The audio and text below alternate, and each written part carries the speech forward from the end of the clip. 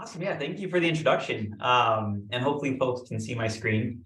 Uh, yeah, so hey everyone, uh, as, as was mentioned, my name is Niema Moshiri. I'm an assistant teaching professor in the computer science and engineering department at UC San Diego. Uh, and then my talk is going to be focused on um, some methods that my lab developed using the NSF funding uh, for speeding up viral genomic uh, analysis. So specifically, today's talk is just going to focus on how we've enabled massively scalable reference-guided multiple sequence alignment of complete viral genomes. Uh, we actually have done multiple other accelerations as well that I just didn't have time to talk about today, but I'll kind of end with a link to my website if folks are curious about how else you could speed up other aspects of this type of analysis. Um, but yeah, so let's let's get started. So just to give a little bit of context, here's a framework for a standard viral phylogenetics workflow. And you know, before I even talk about this, viral phylogenetics is very important to be able to study how is the virus mutating over time. Uh, you know, how is it kind of branching off? How are the like different samples that we collect all over the world related? Um, there's a ton of uses in the world of viral molecular epidemiology that are out of the scope of this talk, but generally having a phylogeny inferred from viral genomes is very useful to have. Um, so typically the workflow starts like this, where you start with a bunch of unaligned viral genome sequences, which I'm showing over here. Uh, the first step is usually multiple sequence alignment, where you try to kind of place these gaps in the different uh, kind of positions of each of the sequences to get them to line up better. And this gives you uh, some notion of sequence homology after you do this. Uh, then given the multiple sequence alignment, we can then perform phylogenetic inference to try to infer an unrooted evolutionary relationship between these sequences. And then typically after that, we do what's called rooting to determine what is the most likely common ancestor of all of the sequences and that kind of then tells us what was the forward in time evolutionary history of these sequences. Then maybe you'll do some additional downstream analyses. So maybe you do transmission clustering. Um, there's, there's a lot of other analyses that you can do on the phylogeny and on the sequences. Um, but yeah, this is kind of the, the, the building blocks of how you do all these other analyses. So typically, these steps over here are the key computational bottlenecks, the multiple sequence alignment, and then the phylogenetic inference. Uh, in today's talk, I won't be talking about phylogenetic inference. I'm just going to be zooming in on multiple sequence alignment. Uh, so some context, multiple sequence alignment, this is what's called an NP-complete computational problem. Uh, what that means, there's a very technical computer science term, but basically what this means is there's no polynomial time exact solution. So basically, if you gave me a bunch of sequences uh, and asked me to come up with the optimal multiple sequence alignment, there is no way to do this in polynomial time. It's very, very slow. Uh, heuristics have been developed to provide optim uh, to provide approximate solutions. Uh, so, for example, you might have heard of Clustal Omega, Muscle, MAFFT. These are some kind of standard tools that are used in this space. Uh, however, even these heuristics, they generally scale quadratically with respect to the number of sequences. Uh, and for context, the GISAID database, which is the database where most folks are storing uh, their full SARS-CoV-2 genomes, this database is growing extremely rapidly. And as of today, we have over 15 million SARS-CoV-2 sequences available from all over the world. The next epidemic is going to be more and kind of sequencing genomes in real time. This is going to be a tool that hopefully we continue to use in, in the viral epidemics to come. So we can expect this to be even more significant of a big data problem. Uh, so currently with these tools like Clustal Omega, MAFFT, and Muscle, we're looking at runtimes of decades to centuries, which, uh, you know, for obvious reasons, if we're trying to do real-time molecular analysis, decades or centuries is just a little bit too slow. Uh, so how can we speed this up?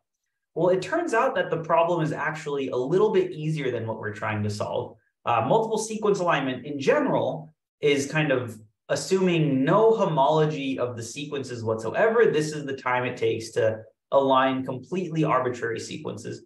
But with SARS-CoV-2 and with viruses in general, we have a much simpler problem, right? We have a lot of sequence homology. And even if the virus is mutating um, you know, significantly across the world, every single viral sequence that we obtain is going to be almost identical to the reference genome. It's not going to be exactly identical, but it's going to be almost identical. So we actually are facing a much simpler computational problem, which is multiple sequence alignment of highly similar sequences. So how can we use that feature to speed up this analysis?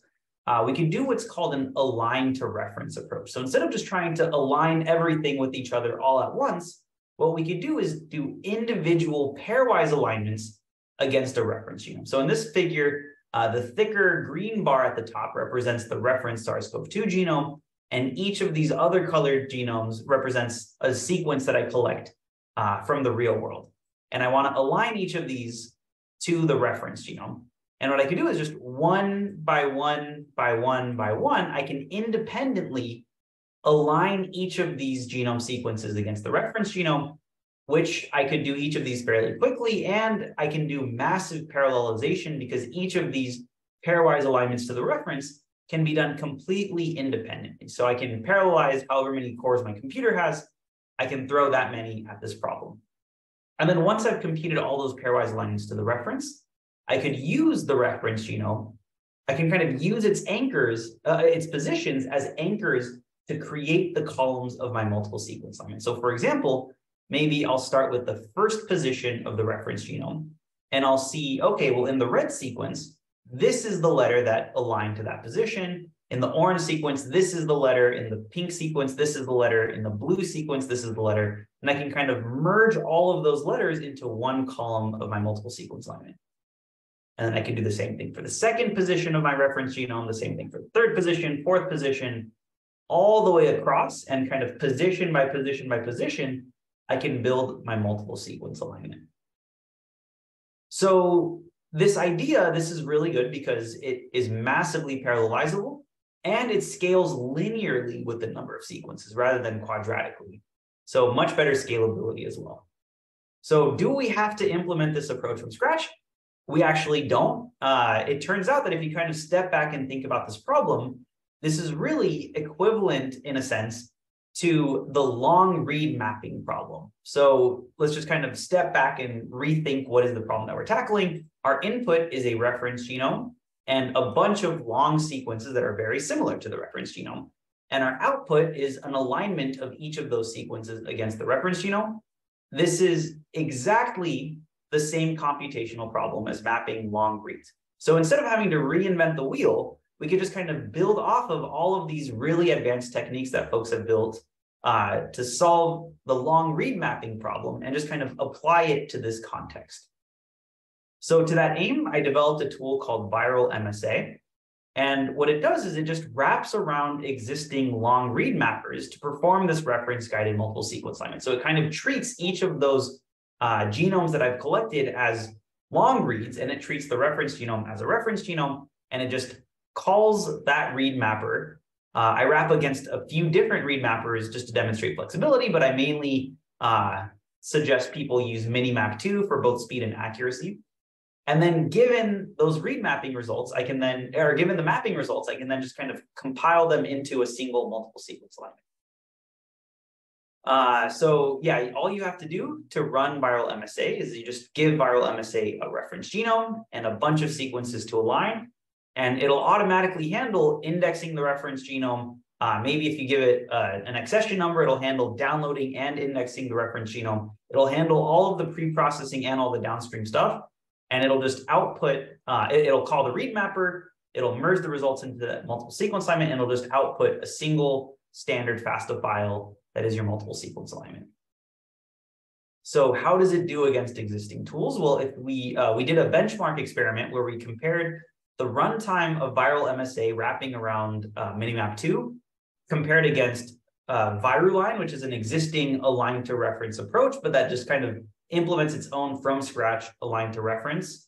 Uh, and we also uh, compared against MAFFT, which is typically considered one of the you know most commonly used multiple sequence alignment tool. So in this plot on the horizontal axis, I have number of sequences. On the vertical axis, I have total execution time in seconds.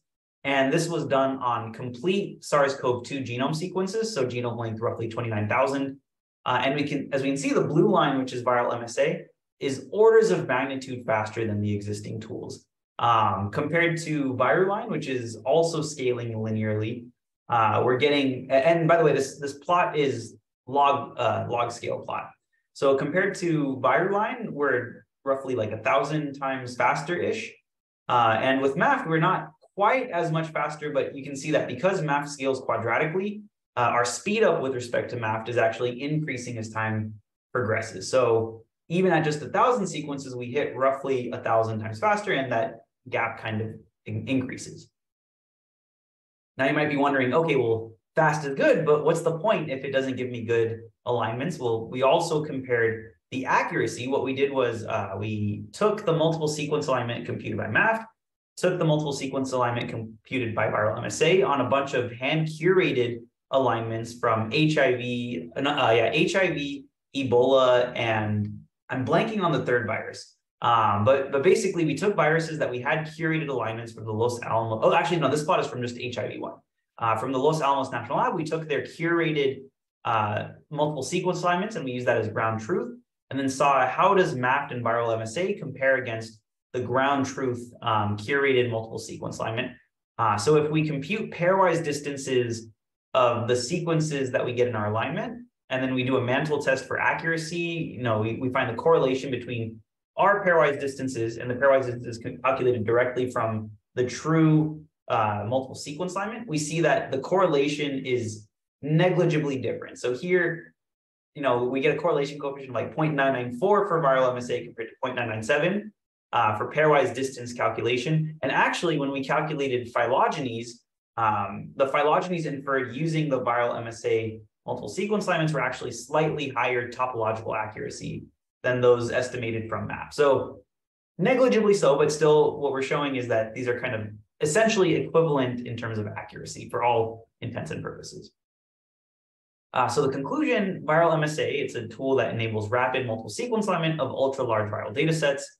It's open source. You can find it on GitHub. Uh, and you know, please consider using it in your viral analyses.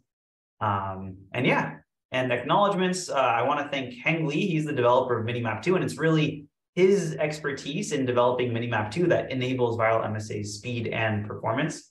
Uh, I want to thank the NSF grant that supported, and the, the research was also supported using Google Cloud Platform research credits.